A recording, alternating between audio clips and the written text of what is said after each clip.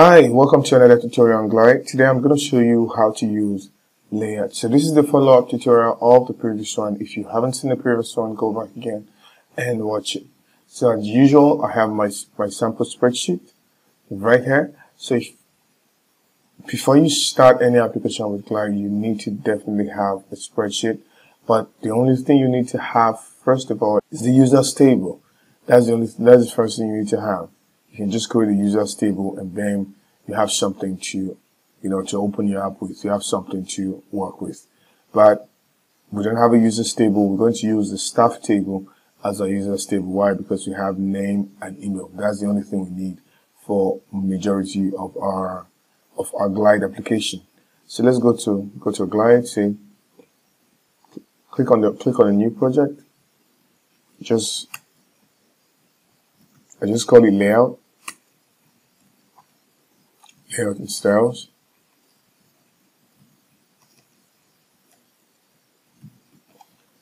Glide app, continue, click on continue. So I'm going to choose my table, click on select. So as you can see from the very beginning, Glide has, Glide has, you know, looked through my data and uh, saying what's there, you know, has just brought up some very, very, some very important information for my data. So this is my data right here. This is my data right here. You can see it has name, title, number, email, photo, location, and the rest. And then if I come back here,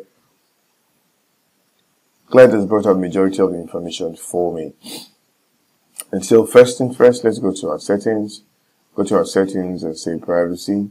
Say we want it to be public with email. Yeah, just like that. That's all you have to do there. You can change the way your appearance look like by choosing another style if you want to. And we can then, you can also, you know, choose a different accent color entirely to give beauty to our application. That's something that you want to look at all the time. And then let's go to click on the hamburger icon as usual. Click on this and select the sheet for your user table. So it's a staff. That's a sheet for our user table. That's, that's all you have to do. That's all you have to do, then say save. So we can view as, as, a, as a different staff entirely. So if I view as a staff, if I go to my, my table, so you see it's right here. The image of the person is right here. The name and the, email is just right here. Glide has several layouts, several layouts itself. This is a this is a list layout and that's the default. The list layout you can really customize a whole lot of things. It's just a single layout that when you click it, it moves into another screen showing the details of that. It shows showing the details of that particular table. So Glide, Glide is not, this, this, these are the only type of layout you can have on your application, except you're customizing it with CSS. So Glide allows you to add a standard CSS, internal CSS, sorry, Glide allows you to add internal CSS to your application, but we'll, talk, we'll be talking about that a whole lot later.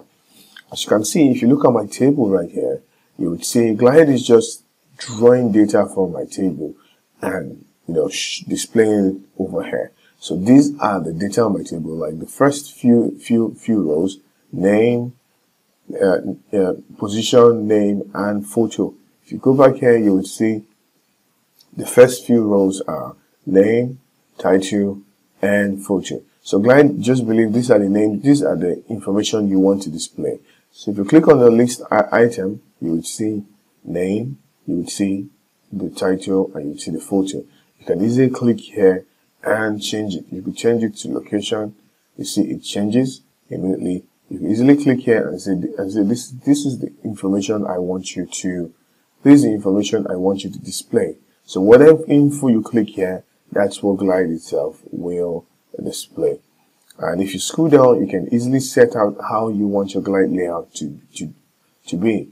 And for the action, you can tell, what do I want? When people click on this, the default is that it goes to a detailed screen. That's the default.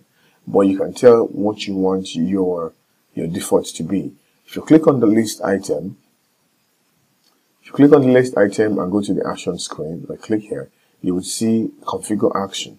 Though we'll be talking a whole lot more about this later. So you can really choose what action you want your screen, what action you want to be before when the user click on the application. So that is that. Then if we scroll down, we can tell our item size. Right here is regular, but if we click on this, just watch closely the changes. So you see the way it is. It's a bit really, really compact and it can take a whole lot more rows. If you click on this, you can see the number of rows you can take is reduced. But if you click on compact, the number of rows you can take, it's a lot. It's a whole lot. And also we can configure the see more, see more button. So I don't, I don't think this is what you like to do. If you click on the see more button, watch what happens. It shows only three. And the user will have to click on see all to be able to see everything you have on that screen. So I'm not sure if it's what you want to do since we're just displaying uh, a list of a list on my table. And so that's it for the list layout. There's not so many things you can do. It just displays a list of rows on your sheet. Same thing you can see, same thing with location. It displays a list of rows on my sheet. And there's another thing you can do with list layout. You can also add a favorite, you can add a favorite tab on your list layout. So if I click right here, right here, you can tell all my stuff and the one I've favorited. You can see there's no item here on display, nothing here. Why? Because there's no favorite button. If there was a favorite button, then I'll be, if there was a favorite button, then I'll be able to click here and say, hey, these are my favorite stuff and these are all the stuff. Let's explore other type of layout. So this is the tile layout. Just watch it. Tile is, is similar to the list layout, displays a whole lot, but it displays a whole lot of information. But here it just gives you more room to do a whole lot of things, more customization option than the list layout. If you click on the edit list right here, you can see you have several options. You can configure the shape of the tile. You know, this is the tile. You can configure the shape of the tile. So the, the default is 3 by 1. That's the default. But you can easily say, hey, I don't want that default. I want it to be a circle. So you can see it's going to be a circle. You would say, I want it to be a square, 3 by 2. It's going to be a larger square. You could increase it and say, I want it to be a 4 by 3. It's going to be a larger square still. And also you can tell the number of ties you want to have per row. The, the, the minimum is 1 and the maximum is 4. But you can increase it with some tricks later. You can increase it with, with some tricks if you know how to do it. So you can increase it and say, hey, I want the, I want the tile here to be, to be 2. You can increase it. I want it to be 3. And then you can increase it. I want it to be 4. So 4, a bit ugly. Because I want it to be, let's just take it back to 2. So you can see, you can see that our tiles right here, it's a lot, it's a lot, and it's very, very beautiful. And also you can choose the orientation. The default, it's vertical you can change it and say, hey, I want it to be horizontal. When you choose horizontal, you are able to slide. You're able to screw this way. You're just able to screw this way. So it's some sort of like, maybe like a Tinder, Tinder type of application. And so you're just able to screw like this. And, but the default, it's the, the vertical tile. That's the default. And so for your corners, you can see, the, you can see the edge is brown. You can turn the edge to sharp. So it becomes all square automatically. But I like my edges to be round. Crop behavior center. Can show your faces so it shows the face, especially if it's an image, it kind of try to show the faces of those persons you're looking at. So I like it to be centered a lot of time. You can see the changes. If I click on it, you can see the changes. You just want to focus on the face of the person on the on the on the on the uh, the image. The, the, the, you just want to show the object in the image. So I turn it to vertical once again, and you can see my position below. If you go to position text style below, or you can say overlay. Overlay, the text is going to be inside the image. You can see that's the overlay. It's going to be inside the image. And alignment, do you want it to be center? This is a new feature. Do you want it to be top right? Do you want it to be lower right? Left right? See, look at it. You can try different types of alignment if you want to for your overlay.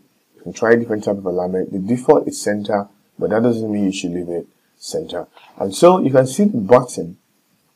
You can see some buttons, tags, avatar, caption.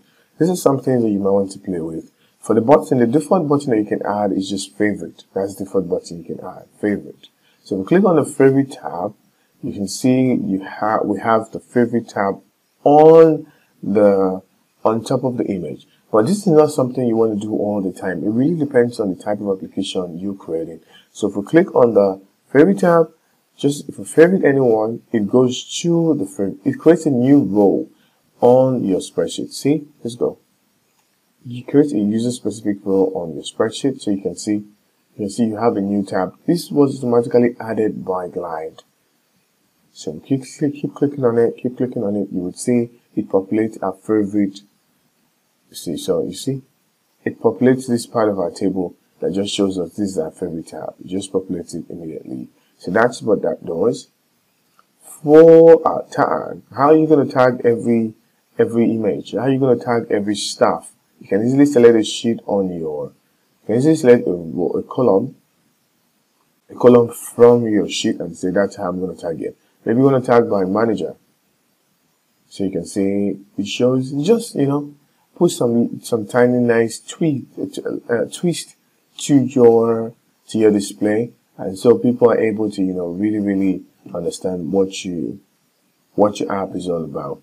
But this time we're just going to leave it like so and just rest. So that's it for the, that's it for the list and the tiles layout. Let's, other videos, we're going to check out the other type of layout and see what we can do out of it. Thank you so much for watching. Don't forget to subscribe. And if you want to sign up for Glide, there's a link at the bottom of it. And also you can check out other video so you'll be good at using Glide. Thank you so much for watching. I will see you in the next episode.